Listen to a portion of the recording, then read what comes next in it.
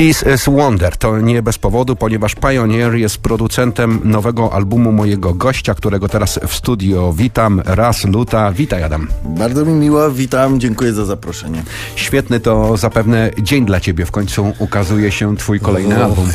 No, jest to, świetne to jednak nie, nie opisuje tego wszystkiego, bo wiesz, no świetny, ale też niesamowicie stresujący i bardzo taki, no, trudny i długi, męczący, ale cieszę się bardzo, że wreszcie, wreszcie e, po bardzo, bardzo długiej ilości czasu, trudności, ogromnej górze udało się. Nie było cię na muzycznej scenie od dobrych kilku lat. Wycofałeś się. Co w międzyczasie działo się z tobą? Co robiłeś? Hmm, no więc, wiesz, przede wszystkim starałem się wrócić. Mhm. Natomiast niestety, w, oczywiście, w, jak się wszyscy domyślają, którzy troszkę wiedzą o tym, e, sytuacja wydawnicza dla naszej muzyki ulubionej jest bardzo nieprzyjemna, niekorzystna. E, duże wytwórnie nie interesują się w ogóle wydawaniem reggae teraz w Polsce.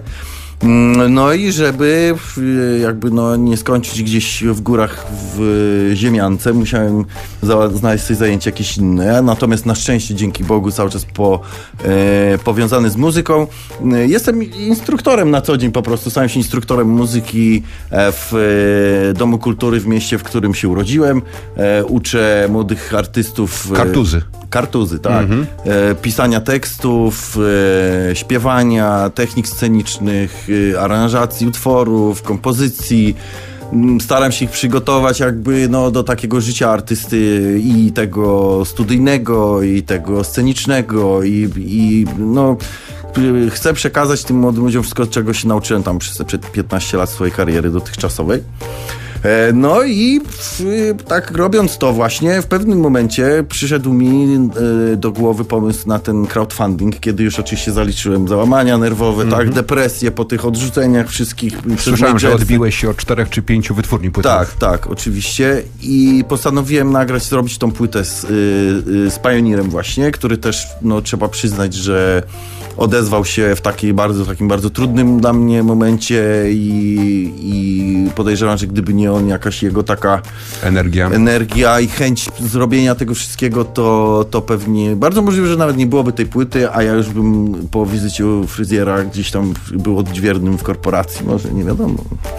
Pioneer to twój y, stary przyjaciel. Współpracowaliście już po płycie, przy płycie Polski Ogień. On hmm. później produkował również twój y, solowy album. Tak. Y, jak ci się z nim pracuje i jaki jest dokładnie jego wkład? Mm-hmm. Na ile ingerował on w twoje pomysły? Czy to było tak, że on ci dostarczył redeemy, y, a ty wybrałeś sobie ulubione i dopisałeś do nich teksty? Czy ta współpraca wyglądała jakoś inaczej? Mm, przede wszystkim Pioneer dostarczył muzyków i część kompozycji rzeczywiście, do tego dostarczył oczywiście swój know-how, dostarczył, włożył tutaj swoje znajomości w Niemczech, bo trzeba zaznaczyć i co jest moim zdaniem bardzo taką fajną ciekawostką, że płytę masterował e, Sasha Buren, czyli facet, który na co dzień współpracuje z Peterem Foxem i Seedem mm -hmm. i, i, robi im płyty.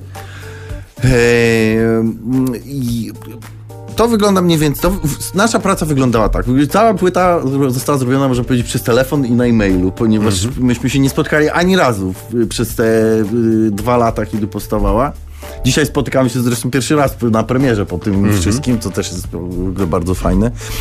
E, ja albo brałem od niego reading i pisałem swoją piosenkę, nagrywałem prewkę, wysyłałem jemu, on to badał, robił z tym, co tam aranżował, odsyłał do mnie e, z pomysłem na aranż już piosenki, nagrywałem na czysto, tak, i wracało to z powrotem. Pioneer dogrywał chórki, dogrywał instrumenty, szukał muzyków, zresztą muzycy to są również ci właśnie to Jamaicans, ten zespół, który... Taki jego house band, tak? Tak, mhm. ale tam są przecież też e, niektórzy muzycy, którzy w Fariście mhm. występowali, też się przewijali, więc to, tak mhm. jest, wszyscy wiedzą.